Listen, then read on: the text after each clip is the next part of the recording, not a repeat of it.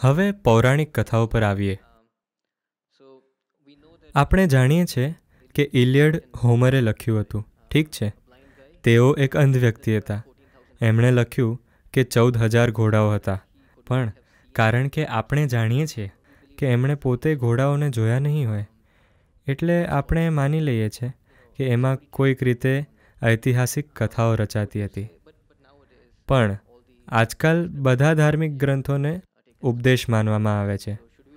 તો શું આપણે એ માની લઈએ કે રામાયણ મહાભારતમાં પણ વાર્તાઓ ઘડવામાં આવી છે? અને એમને સાહિત્ય માનવાની જગ્યાએ ઉપદેશ માનવું ખોટું નથી? મેં ક્યારેય કોઈને રામાયણ અને મહાભારતને ઉપદેશ માનતા નથી જોયા. કેટલાક વિભાગો એમાં પણ છે. ના ના. તેઓ નથી માની શકતા કારણ કે તેઓ ભ્રમથી હેરાન થઈ જશે. કારણ કે મહાભારતમાં બધા પ્રકારના લોકો છે. શ્રેષ્ઠ લોકો, ખરાબમાં ખરાબ લોકો, એમની વચ્ચે દરેક પ્રકારના સ્ત્રી પુરુષ એમાં છે. એક લાખથી પણ વધુ ચરિત્ર છે. એને ઉપદેશ કેવી રીતે માની શકાય? તમે વાર્તા કહેવાની વાત કરી હતી. હું નથી જાણતો કે તમે યુથ એન્ડ ટ્રુથની બાયલાઇન જોઈ છે કે નહીં. ગ્રંથોની ગંભીરતાથી નહીં, ગપશપ કરતા મોજમાં. કારણ કે ગપશપ કાયમ ભરોસાપાત્ર રહ્યું છે. ઇતિહાસમાં ક્યારેય કોઈએ ઓફિશિયલ વાતો પર ભરોસો નથી કર્યો. અધિકૃત વાતો ભલે જે પણ હોય, લોકોએ આસપાસ પોતાના મિત્રો સ્વજનોને પૂછ્યું કે શું થયું? જ્યારે પાંચ લોકોએ પાંચ વસ્તુઓ કહી, તો લોકોએ એ ગપશપમાં થોડી હકીકત કાઢવા માટે પોતાની બુદ્ધિનો પ્રયોગ કર્યો. પણ લોકોને કાયમ અધિકૃત વાતોથી વધારે ગપશપ પર ભરોસો રહ્યો. છે કે નહીં? ફક્ત આજે નહીં, હંમેશાથી. જોકે એ જોતા આ ગપશપથી સત્ય આટલું બદલાઈ શકે છે કે તે કાયમ માટે ખોવાઈ જાય. તો શું તમને લાગે છે કે એ ચિંતાજનક છે? જુઓ પહેલાં તો તમે પૂછી રહ્યા છો કે શું તે વાસ્તવમાં થયું હતું કે નહીં બરાબર? ના અમે કહી રહ્યા છીએ કે તમે જે દલીલ આપી છે એવી જ દલીલ આજકાલ સામાન્ય રીતે એ કહેવા માટે ઉપયોગમાં લેવામાં આવે છે કે જે ઇમારતો મુગલોએ બનાવી હતી તે વાસ્તવમાં મુગલ ઇમારતો નથી. ઓકે. જોકે અહીંયા ગપશપનો સંપૂર્ણ રીતે ખોટો અર્થ નીકળે છે. જુઓ, જો તમે વધારે દક્ષિણ તરફ જશો, તો ત્યાં લોકો સવાલ કરે છે કે રામ ખરેખર જન્મ્યા હતા કે નહીં? ઠીક છે? એ બસ ખરાબ યાદશક્તિનો પ્રશ્ન છે. જ્યારે આખો દેશ હજારો વર્ષોથી આ વિશે વાત કરી રહ્યો છે, હવે સમસ્યા એ છે કે તમે બોલેલા શબ્દોથી વધારે વિશ્વાસ લખેલા શબ્દો પર કરો છો. બધી સમસ્યા ત્યાં જ છે, પણ તમારે સમજવું જોઈએ કે આ એક મૌખિક સંસ્કૃતિ છે. આપણે કાયમ વાતો કરીને લોકો સુધી સૌથી મહત્વપૂર્ણ વાતો પહોંચાડી છે. તમે એને મહત્વહીન માની શકો છો, કારણ કે તે લખાયેલું નથી. કોઈ પણ એને લખી શકે છે. લોકોએ હવે એને લખી લીધું છે. તે એક લિખિત શબ્દ છે. પણ હવે કોઈ પ્રશ્ન કરે કે રામ હકીકતમાં હતા કે નહીં? એક જગ્યાએ નહીં. આ પૂરી સંસ્કૃતિમાં જો બધા જ લોકો એક જ વાર્તા વિશે વાત કરી રહ્યા હોય, થોડા ઘણા ફર્ક સાથે, તો આ બસ બધા લોકોની કલ્પના ન હોઈ શકે. મારા ખ્યાલથી ઇલિયડનું ઉદાહરણ આપતા એમણે પણ આ જ વાત કહી હતી કે ટ્રોયનું યુદ્ધ થયું હતું. પણ હોમરનું એ કહેવું કે ચૌદ હજાર ઘોડા ત્યાં હતા તે દેખીતી રીતે સત્ય નથી. કદાચ ના. કદાચ રામ હતા પણ જે બાકીની હકીકત લખવામાં આવી છે જુઓ આપણે છેવટે ભારતીય છીએ. આપણે શૂન્યનો આવિષ્કાર કર્યો છે. આપણી પાસે શૂન્યને વાપરવાની એક ખાસ છૂટ છે. આપણે એની છૂટ લઈ રહ્યા છીએ. Don't uh. જુઓ જુઓ છ સાત હજાર વર્ષ પહેલાં એક લાખ લોકો લડ્યા કે દસ હજાર લોકો લડ્યા. એનાથી કોઈ ફરક નથી પડતો. આ દેશમાં વાર્તાઓને જે રીતે કહેવામાં આવે છે, એમાં તથ્ય નહીં, પણ સત્ય મહત્વપૂર્ણ છે. તમે એક ખાસ સત્ય બહાર લાવવાનો પ્રયત્ન કરો છો. એ તથ્ય કે એક લાખ લોકો લડ્યા કે દસ હજાર લોકો લડ્યા એનાથી શું ફરક પડે છે? આજે તમારે એ યુદ્ધનો વહીવટ નથી કરવાનો. એ સમાપ્ત થઈ ગયું છે. તો મહત્વપૂર્ણ વસ્તુ એ છે કે હું એમાંથી શું શીખું છું બરાબર છે? જો એ એક પ્રશ્ન હોય તો આપણે એના વિશે આગળ વાત કરી શકીએ મારી. દ્રષ્ટિએ એ વાત એમણે પણ કહી કે જ્યારે તમે ધાર્મિક ગ્રંથોને જુઓ છો જેવી રીતે તમે જુઓ ગ્રંથમાં એને ધાર્મિક ગ્રંથ ન કહો એ દેશનો ઇતિહાસ છે. હા તો માની લો કે તમે કોઈ બીજા સાહિત્યિક ગ્રંથને જુઓ છો, તો તમે એમાંથી કંઈક શીખો છો. સાહિત્ય અલગ વસ્તુ છે, ઇતિહાસ અલગ છે. સાહિત્ય કાલ્પનિક હોઈ શકે, પણ ઇતિહાસ હંમેશા તર્કસભર રીતે લખવામાં આવે છે, એટલે તે હંમેશા તમારા માટે કંઈક અર્થ ધરાવે છે. હું કહું છું કે છ હજાર વર્ષ પહેલાં કોઈ માણસ હતો કે નહીં મને શું લેવા દેવા? જ્યાં સુધી મારા આજના જીવનમાં એનું કોઈ યોગદાન જ ન હોય. છે કે નહીં? પરંતુ જો ઇતિહાસ લખવામાં આવ્યું છે પણ તેની હકીકતોનું વર્ણન સ્પષ્ટ નથી. જુઓ હું એ જ કહી રહ્યો છું. તથ્ય આ રીતે છે. માની લો છ હજાર વર્ષ પહેલાં રામની એક પત્ની હતી જેનું નામ સીતા ન હતું. તો મને શું તકલીફ હોઈ શકે? અમે એ સવાલ નથી કરી રહ્યા. કે એનું નામ નામ નહીં. હું કહું છું કે બરાબર છે.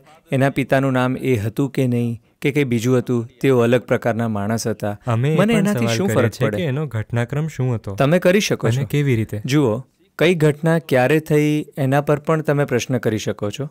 પણ હું એ પૂછું છું કે છ હજાર વર્ષ જૂના નાટકમાં થોડી હેરાફેરી થઈ ગઈ તો એ તમારી સમસ્યા નથી.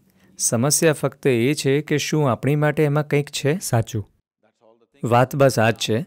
તો પ્રશ્ન એ છે કે આ દેશમાં આપણે રામની પૂ તેઓ કોઈ ખૂબ સફળ વ્યક્તિ ન હતા. જો તમે ધ્યાનથી જુઓ તો તેઓ સતત અસફળ હા આજે પણ તેઓ જમીનના મુદ્દે જજુમી રહ્યા છે. એટલે જ તો તમે આ મુદ્દો ઉઠાવ્યો.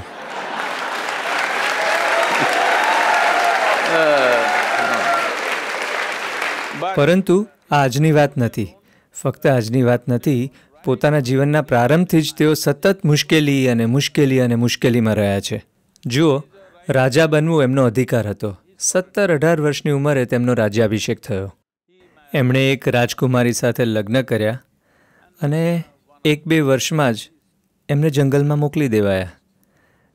તેઓ જંગલમાં કંઈ પિકનિક મનાવવા નહોતા ગયા. જેમ ઘણી ટીવી સિરિયલ્સમાં દેખાડવામાં આવ્યું છે કે રામ અને સીતા એ બધું કરી રહ્યા છે. ના આ તો એમ છે કે એમને રાજ્યથી સત્તાથી અને દરેક વસ્તુથી બહાર ફેંકી દેવામાં આવ્યા હતા. આ રીતે તો વ્યક્તિ તૂટી પડે પણ તેઓ ત્યાં જ વસી ગયા. પણ રામ એક શંકાશીલ વ્યક્તિ પણ હતા. જ્યારે સીતા એમની પાસે આવ્યા તો પહેલા એમને અગ્નિ પરીક્ષા આપણે એના પર આવીએ. સીધા ત્યાં કૂદીને ન જાઓ. પહેલા સીતાનું હરણ તો કરી લઈએ. જુઓ તમે બદલો છો. તમે ઘટનાક્રમ બદલી રહ્યા છો. પહેલા અપહરણ તો કરી લઈએ. બરાબર છે?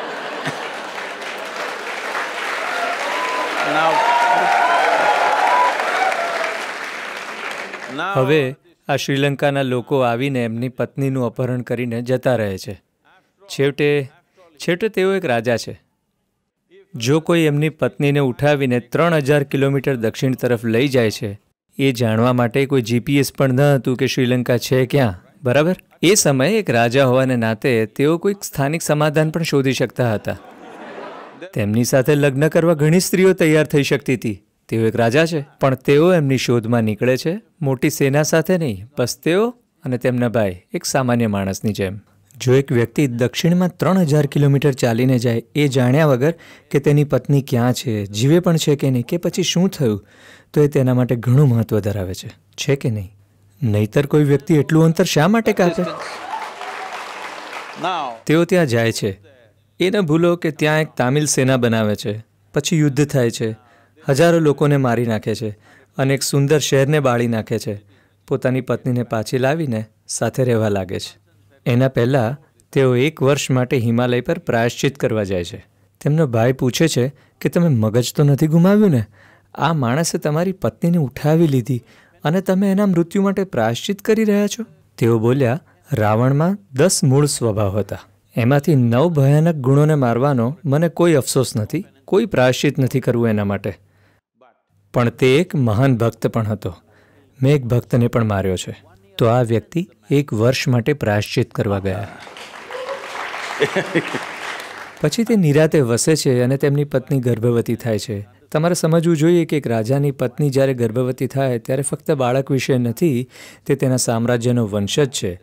અને એમાં બીજી ઘણી બધી વસ્તુઓનો સમાવેશ થાય છે. કોઈ સોનોગ્રાફી ન હતી. એ પણ નહોતી ખબર કે છોકરો છે કે છોકરી કે છોકરાઓ કે છોકરીઓ. પણ પછી એવી એક રાજનીતિક પરિસ્થિતિ ઊભી થઈ જ્યાં એમને એમની પત્નીને જંગલમાં મોકલી દેવી પડી જેને તમે શંકાશીલ. સ્વભાવ કહો છો. તો આપણે પહેલા ચરણથી પણ શરૂ કરી શકીએ છીએ જેમાં સીતાને બચાવ્યા પછી સીતાએ પોતાની શુદ્ધતાના પુરાવા આપવા માટે અગ્નિ પરીક્ષા આપવી પડી હતી.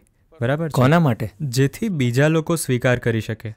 કારણ કે રામને એ વસ્તુથી ફરક પડતો હતો કે લોકો એમને કઈ રીતે જુએ છે. જ્યારે રામ પાછા આવ્યા તો એમના રાજ્યના કોઈ ધોબીએ કહ્યું હું રામ જેવો નથી કે એક એવી સ્ત્રીને પોતાના ઘરમાં રાખું જેના ગર્ભમાં કદાચ બીજાનું બાળક હોઈ શકે છે. એ કારણે રામે સીતાને ફરીથી જંગલમાં તો તમે આ જ અસુરક્ષાની વાત કરો છો? આખી કથામાં રામ ઈચ્છે છે કે એમની પ્રજા એમને પ્રેમ કરે. ના ના. આના પર વિસ્તારથી વાત કરીએ. આજે આપણા દેશમાં ઘણા પ્રકારની વસ્તુઓ છે. હું તમને પૂછું છું કે શું તમે આ દેશ માટે એવો નેતા ઈચ્છો છો કે જ્યાં દેશના લોકોને પોતાના પરિવાર અને અંગત પ્રેમથી ઉપર રાખે? હું તમને પૂછી રહ્યો છું. કાં તો તમે એક ધૃતરાષ્ટ્ર ઈચ્છો છો? કોઈ પણ કિંમત પર મારો જ પુત્ર. તમે એક એવા વ્યક્તિ ઈચ્છો છો જે દેશના નાગરિકોને પોતાના પરિવારથી ઉપર રાખે છે. એ એમની માટે ફક્ત એક સ્ત્રી ન હતી, તેઓએ જઈને એની માટે યુદ્ધ લડ્યું. ત્રણ હજાર કિલોમીટર ચાલીને ગયા. એ બસ એક સ્ત્રી ન હતી, તેઓ સીતા માટે જીવી રહ્યા હતા. પણ છતાં પણ તેઓએ ગર્ભાવસ્થાની સ્થિતિમાં એમને જંગલમાં પાછા મોકલી દીધા. એ જાણવા છતાં કે એમના રાજ્યનું ભવિષ્ય હોઈ શકે. જુઓ, એ ફક્ત એક ધોબીની વાત નથી. એ તમારી ભૂલ છે. તમે આ વાતોનો શાબ્દિક અર્થ લઈ રહ્યા છો. એક ધોબીએ કહ્યું, અહીંયા કહેવાનો અર્થ એ છે કે સામાન્ય લોકો આ કહી રહ્યા છે. સામાન્ય લોકોનો રાજા પરથી વિશ્વાસ ઉઠી ગયો છે કે તેઓ ક્યાંકથી કોઈ સ્ત્રીને લાવ્યા, અમારી રાણી બનાવી દીધી. કારણ કે રાણીને રાજ્યની માતાના રૂપમાં જોવામાં આવે છે. અમે આવી સ્ત્રીને માતાના રૂપમાં નથી જોવા ઈચ્છતા. તેઓ આ જ કહી રહ્યા હતા કે તે કોઈ બીજી જગ્યાએ જઈને કોઈ બીજા પુરુષ સાથે રહીને આવી છે. તે સમયના લોકો આ જ કહી રહ્યા હતા. તો જો રાજા એમ કહે કે મને કંઈ ફરક નથી પડતો, તમે શું વિચારો છો? હું મારી પત્નીને પ્રેમ કરું છું અને મારી સાથે જ રાખીશ. તો તે એક સારો રાજા કે પ્રશાસક ન હોત? તો તેમણે પોતાની પ્રજાને એ સ્ત્રી કરતાં ઉપર રાખી, જેને તે ઘણો પ્રેમ કરતા હતા અને તે ગર્ભવતી પણ હતી. આ તેમની માટે નાની વાત ન હતી. એમની માટે એ તેમનું આખું વિશ્વ હતી. છતાં પણ તેઓએ તેને જંગલમાં મોકલી દીધી. એમને તો નમન કરવું જોઈએ. એટલા માટે જ આપણે એમની સામે માથું નમાવીએ છીએ. બરાબર? નો પ્લીઝ બોલો. મારા. વિચારથી આગળ વધવું જોઈએ. કેમ? એમને કંઈક કહેવું છે? પ્લીઝ તો એક વ્યક્તિ તરીકે તમારી વિવિધ પ્રકારની જવાબદારી હોય છે. એક રાજાના રૂપમાં અલગ તો એક માણસના રૂપમાં પરિવારના સભ્યના રૂપમાં તમારી અલગ જવાબદારી હોય છે. હવે તમે તમારી પત્નીને ફેંકી ન શકો એને જંગલમાં ન મોકલી શકો. આ તો તેને વસ્તુ સમાન જોવા જેવું છે. તેઓ એને એક ગર્ભવતીના રૂપમાં નથી જોઈ રહ્યા. એને ઘણી જરૂરિયાતો હશે અને એમણે ઘણા વચનો આપેલા હશે. તો હવે તમે ગૌતમ બુદ્ધના વિરુદ્ધ છો? તમે રામના વિરુદ્ધ છો? દરેકના. પણ તમારે એને સાચા સંદર્ભમાં સમજવું જોઈએ કે જો આ સ્ત્રી તેમના માટે મહત્વ ન ધરાવતી હોત તો તેઓ તેની માટે છેક શ્રીલંકા સુધી ન જાત. યુદ્ધ કરીને તેને પાછી ન લાવત. એ તો એમની અંદરની અહંકારની ભાવના હતી તમે કેવી રીતે કહી કરી શકો? છો? તેઓ ઈચ્છતા તો અહંકારમાં સો પત્નીઓ રાખી શકતા હતા પણ તેઓ એ સ્ત્રી માટે ગયા કે જે એમના માટે આટલું મહત્વ ધરાવતી હતી. આગળ વધીએ. ના ના તમારે એમના કહેલા શબ્દો પર ધ્યાન આપવું જોઈએ. તમારે જોવું જોઈએ કે એમણે સીતા વિશે શું કહ્યું હતું એ તેમની માટે શું મહત્વ ધરાવતી હતી અને તેઓ કઈ રીતે લક્ષ્મણની સામે ઘણીવાર શબ્દો શું કર્મો વધારે મહત્વ ધરાવે તમે એમના મનની અંદર આટલા ખરાબ ઈરાદાઓ કેમ શોધી રહ્યા છો? એમણે આવા ઈરાદાઓ ક્યાંય પ્રકટ નથી કર્યા. એમણે એવું કંઈ વ્યક્ત જ નથી કર્યું. શબ્દો વડે તો આપણે કંઈ પણ કહી શકીએ છીએ. જ્યાં સુધી તમારી વાત છે તમે એ જ જાણો છો જે તમે વાંચ્યું છે. તમે એમના જીવન વિશે એનાથી વધારે કંઈ નથી જાણતા. ન તો હું ન તો તમે બરાબર? એકદમ તો સાચું. તમે જે વાંચ્યું એમાં એવું ક્યાંય નહોતું લખ્યું કે તેઓ અસુરક્ષા અનુભવતા? ક્યાંય એવું પણ નથી કહ્યું કે તેઓ ના ના ના. બધી જ જગ્યાએ ઘણી સ્પષ્ટ રીતે કહેવામાં આવ્યું છે. હું તમને કહું છું, આજે એમની પૂજા એટલા માટે કરવામાં આવે છે કારણ કે ભલે જીવનમાં એમની સામે ઘણી મુશ્કેલીઓ આવી, આ માણસે કોઈ દિવસ દુઃખ પ્રકટ નથી કર્યું. અણગમો નથી બતાવ્યો, ક્યારેય ક્રોધિત નથી થયા. તેઓ વૈરાગી પણ નહોતા બની ગયા. તેમણે સંપૂર્ણ જીવનકાળમાં પોતાના દુઃખ અને તકલીફોને પોતાના હૃદયમાં રાખીને પોતાનું દરેક કર્તવ્ય નિભાવ્યું છે. તેઓ તેમની પ્રજા માટે સૌથી ઉત્તમ કાર્ય કરતા રહ્યા. જો આને તમે અહંકારનો દોષ ગણો છો તો